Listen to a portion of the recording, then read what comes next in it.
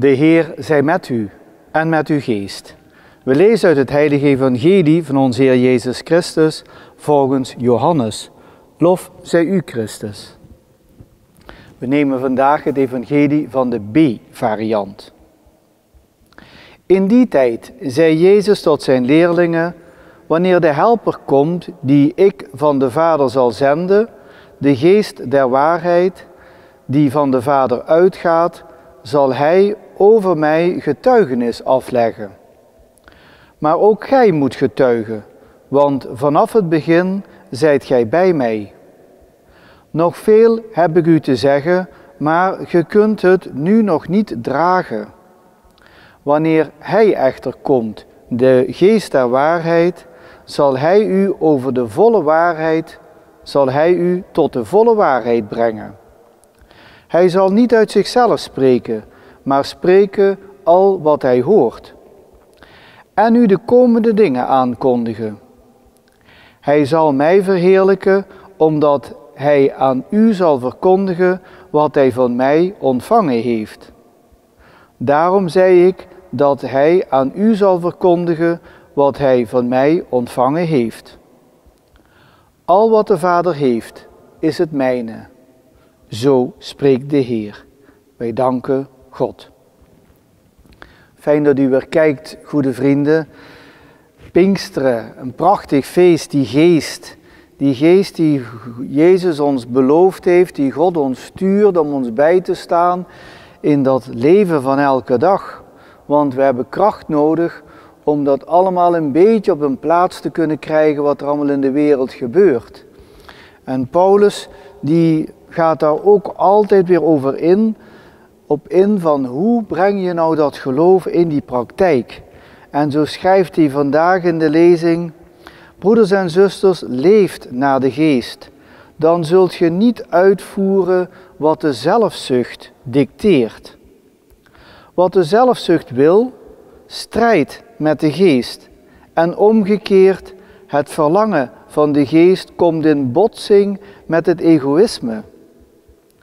Die twee liggen met elkaar overhoop, zodat je niet kunt doen wat je zou willen doen. Maar als je u door de geest laat leiden, staat je niet onder de wet. De uitingen van de zelfzucht zijn bekend genoeg.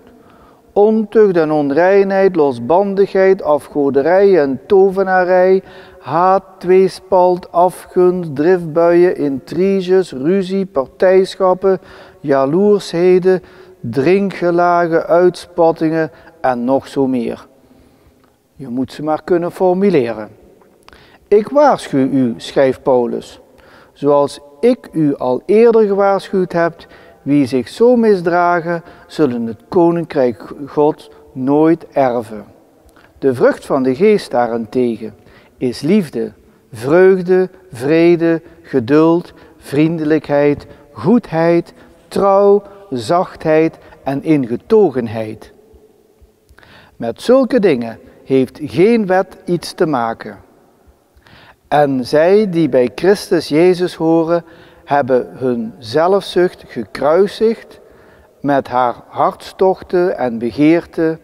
Daar wij leven door de geest, zullen we ook leven volgens de geest. En als u dat zo hoort, goede vrienden, ja, in die wereld zitten wij dus. Waar zoveel dingen gebeuren, nu ook rond de Pinksteren en die onlusten in de universiteiten. Waar komt het vandaan dat mensen zich zo op laten zwepen en zich zo kunnen misdragen?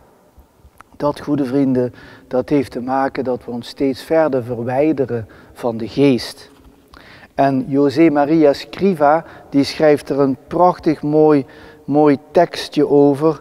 dus wij zitten nu in een cultuur dat we ons, het lijkt erop, dat we ons steeds meer aan het verwijderen zijn van die Heilige Geest.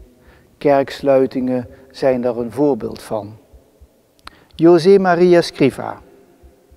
Het is de Heilige Geest die met zijn inspiratie een bovennatuurlijke kleur geeft aan onze gedachten, verlangens en daden.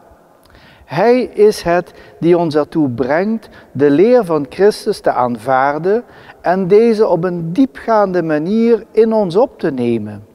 Hij is het die ons het licht geeft waarmee wij onze persoonlijke roeping onderscheiden en de kracht om alles te doen wat God van ons verwacht. Als we volgzaam zijn aan de Heilige Geest, zal het beeld van Christus zich steeds vollediger in ons vormen en zullen we elke dag dichter bij God de Vader komen. Wie wil dat nou niet? En André Louf, die schrijft er nog eens bij, om beter te bidden volstaat het vaak om minder te doen, zaken weg te laten, een aantal persoonlijke projecten in de wacht te zetten en zich te verlaten op de innerlijke stuwing van de geest. Zodra de geest in ons opwelt en ons in zijn kracht onderdompelt, zullen al onze inspanningen, onze methodes en gebedstechnieken het onderspit moeten delven en sterven aan ondervoeding. Zo kan de geest van Jezus in ons de ruimte krijgen om zijn eigen gebed alle kansen te geven. Ons gebed kan alleen maar tussen aanhalingstekens het zijne zijn. En daarom, goede vrienden, bid ik voor u om bescherming, om kracht, geduld, wijsheid, gezondheid. Ik wens u een hele fijne zondag toe. En als God bleef, tot de volgende keer.